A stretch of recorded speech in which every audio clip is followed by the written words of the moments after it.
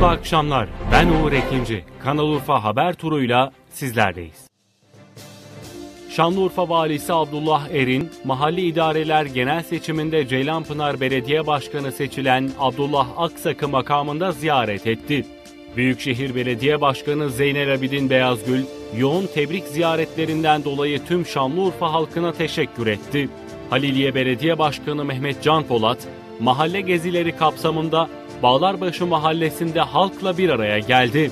Şanlıurfa'nın Bozova ilçesinde bir ineğin yıldırım çarpması sonucu ölen yavrusunu sürükleyerek gömmeye götüren traktörün arkasından koşup bağırması görenleri duygulandırdı. Denizli'de uçurumdan düşerek telef olan ineğinin başında ağladığı fotoğrafla Türkiye'nin gündemine oturan 70 yaşındaki Sabiha Nine'ye hayırsever iş adamı inek hediye etti. Türkiye Futbol Federasyonu 2. Lig Kırmızı grubun 30. haftasında Şanlıurfa Spor sahasında Fatih Karagümrük Spor'u konuk etti. Karşılaşmadan gol sesi çıkmadı.